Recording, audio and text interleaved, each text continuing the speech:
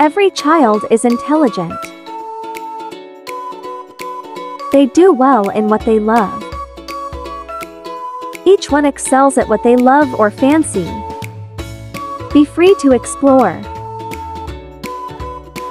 It's okay to love to study your books at all times. Studying is commendable. It is also good to analyze and test, and come up with answers.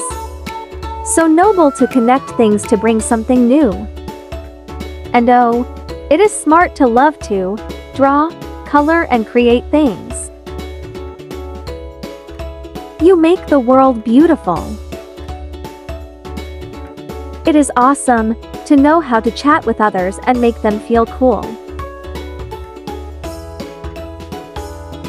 And it's a powerful thing to stay positive and believe the best even through a tough time.